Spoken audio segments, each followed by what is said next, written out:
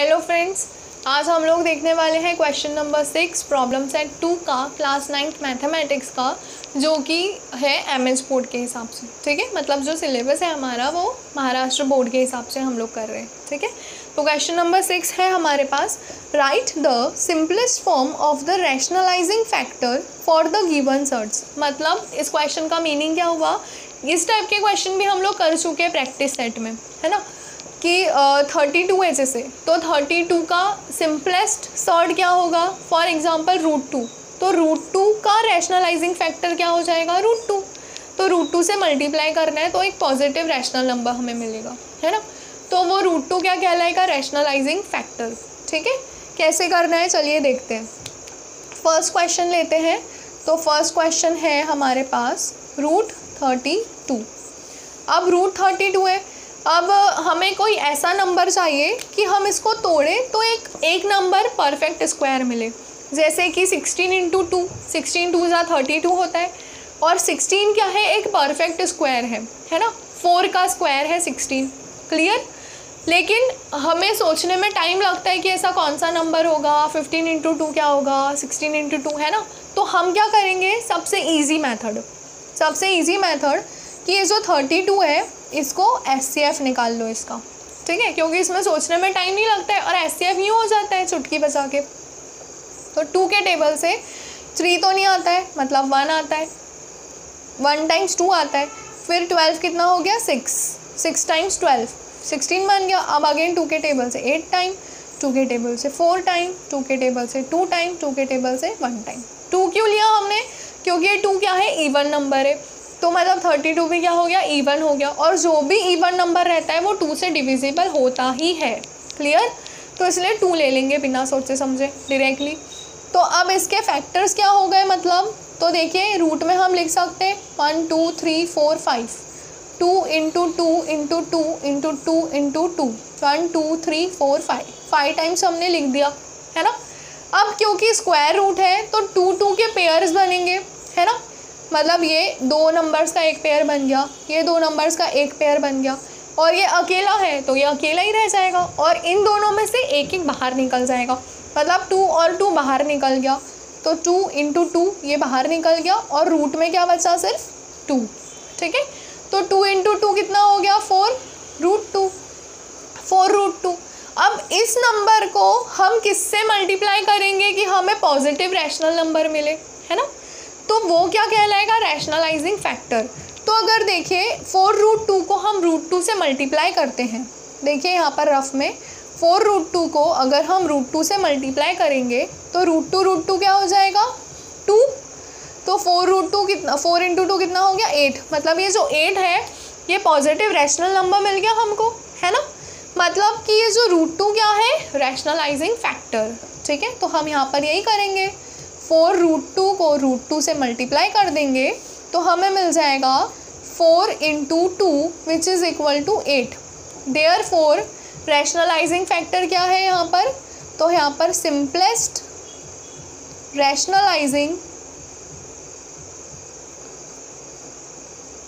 Factor is क्या है? Root two ठीक है? सिंपलेस्ट रैशनलाइजिंग फैक्टर जो हमें simplest form of the rationalizing factor जो हमें क्वेश्चन में निकालना था, वो हमने निकाल दिया। क्या है? रूट टू क्लियर हुआ?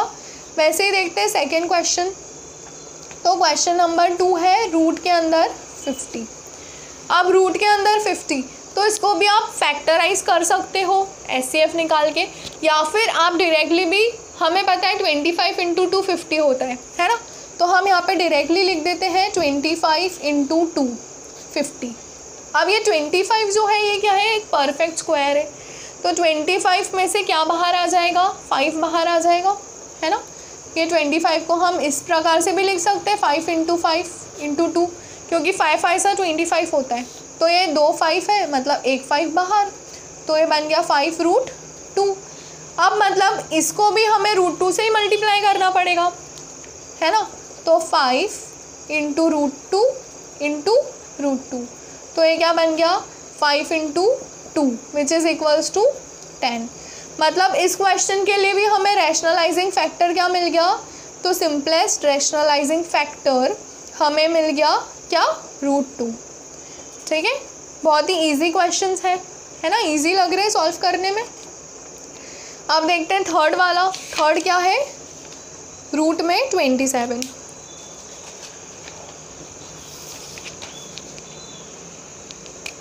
third question is root twenty seven अब ट्वेंटी सेवन क्या नंबर है?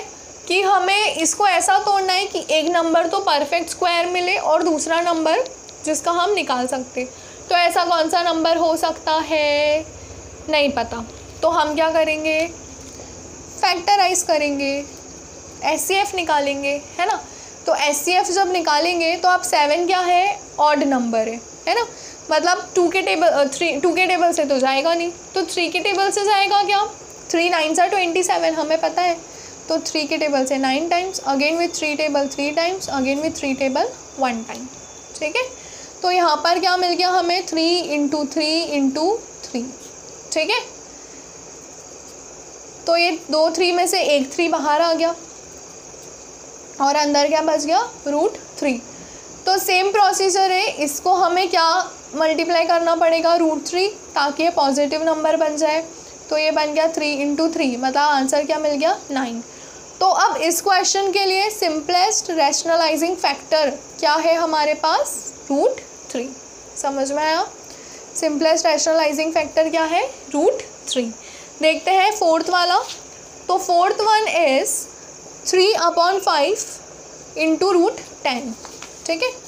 फोर्थ है आपके पास three upon five into root ten, ठीक है? तो अब इसमें क्या है?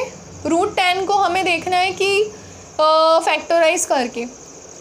तो टेन टू के टेबल से होगा five times again with five table one time मतलब टू और फाइव दोनों भी क्या है? प्राइम नंबर से। तो हम इसको डायरेक्ट टेन ही रहने देते हैं एज इट इज़ हम क्या करेंगे फिर? Three upon five into root ten अब इसके लिए सिंपलेस्ट रैशनलाइजिंग फैक्टर क्या हो जाएगा? रूट टेन ही होगा। क्योंकि ये दोनों तो क्या है? प्राइम है। तो तोड़ के कोई मतलब ही नहीं है। तो डायरेक्ट रूट टेन ही लेते तो ये क्या बन गया? Three by five as it is into ten अब फाइव वन टाइम्स और टेन टू टाइम्स तो थ्री टू जा कितना मिल गया हमें? सिक्स यानी इस क्वेश्चन के लिए सिंपलेस्ट रैशनलाइजिंग फैक्टर क्या है आपका? रूट टेन ठीक है? This is your answer question number fifth देखते हैं। तो फिफ्थ है आपका three into root seventy two ठीक है? Fifth one is three root seventy two ठीक है? ये फोर्थ था, ये थर्ड था। फिफ्थ वाला देखते हैं। Three root seventy two. तो अब सेवेंटी टू का भी हमें नहीं पता है तो डायरेक्ट बिना टाइम वेस्ट किए हम क्या करेंगे? एस सी एफ़ निकालेंगे। ठीक है? टाइम का बहुत इंपॉर्टेंस होता है ना मैथ्स के पेपर में, क्योंकि पेपर लेंदी होता है और सॉल्व करने के लिए टाइम कम पड़ जाता है। तो इसलिए हमें फटाफट सारे टेबल्स भी पता होने चाहिए। एटलीस्ट टू से लेकर नाइन तक तो हमें टेबल याद होने चाहिए, एकदम पक्के से। है ना? अब, क्योंकि इवन नंबर है SCF में भी हमें ज़्यादा टाइम नहीं लगाना है। तो ज़्यादा टाइम ना लगे, इसलिए हमें दो चीज़ें ध्यान रखनी है। पहला, एक तो अगर लास्ट नंबर इवन है तो पूरा नंबर भी इवन रहेगा। ठीक है? और अगर इवन है मतलब टू से डिवाइड हो जाएगा। और दूसरा, अगर ऑड नंबर है तो हम सबसे पहले देखेंगे कि थ्री से डिवाइड हो रहा है क्या। नहीं होगा तो फिर फाइव ट्राई करेंगे। ठीक है? तो टू से लेते हैं इसको टू के टेबल से।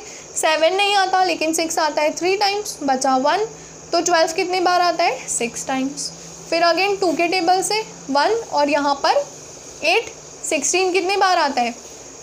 एट टाइम्स टू एट ज़ा सिक्सटीन फिर टू के टेबल से एटीन आता है. नाइन टाइम्स फिर थ्री का टेबल ले लेंगे. थ्री टाइम्स थ्री का टेबल ले लेंगे. वन टाइम तो इसके फैक्टर्स क्या हो जाएँगे? थ्री तो ये यहाँ पर ही रहेगा. और इसके फैक्टर हो जाएँगे one two three three times two और टू टाइम्स थ्री, है ना? अब हमें क्या करना है? पेयर्स बनाने। तो ये पेयर और ये पेयर। मतलब बाहर क्या क्या आएगा? बाहर आएगा टू और थ्री। और रूट में क्या बचेगा? टू बचेगा। तो इसको पहले मल्टीप्लाई करके लिख देते हैं। थ्री टू ज़ा सिक्स सिक्स थ्री ज़ा एटीन और यहाँ पर रूट टू, ठीक है? तो अब इसको किस नंबर से मल्टीप्लाई करना पड़ेगा? कि आंसर हमें पॉजिटिव रैशनल नंबर मिले। तो इसको हमें मल्टीप्लाई करना पड़ेगा रूट टू से। तो हमें आंसर मिल जाएगा एटीन इंटू टू अब एटीन का टेबल अगर नहीं आता है तो क्या करेंगे? टू एट ज़ा sixteen one carry two one ज़ा two and this is three तो कितना आ गया आंसर थर्टी सिक्स मतलब इस क्वेश्चन के लिए सिंपलेस्ट रैशनलाइजिंग फैक्टर क्या है हमारे पास? रूट टू समझ में आया? अब ऐसे ही एक लास्ट क्वेश्चन बचा है। फोर रूट इलेवन, है ना? अब देखिए, फोर रूट इलेवन को कैसे लिखेंगे? रूट इलेवन भी क्या है? प्राइम नंबर है। तो इसको हमें किस नंबर से मल्टीप्लाई करना पड़ेगा? रूट इलेवन से करना पड़ेगा, ताकि पॉजिटिव नंबर मिले। तो फोर इंटू इलेवन कितना हो जाएगा? Forty four. और सिंपलेस्ट रैशनलाइजिंग फैक्टर क्या आएगा इस क्वेश्चन के लिए? Root eleven. क्लियर हो गए? तो ये थे छः क्वेश्चन क्वेश्चन नंबर सिक्स के। अगर फिर भी आपको कोई डाउट आता है तो आप प्लीज़ प्लीज़ प्लीज़ कमेंट करके पूछ सकते हैं और फिर हम उसको सॉल्व करेंगे, ठीक है? Thank you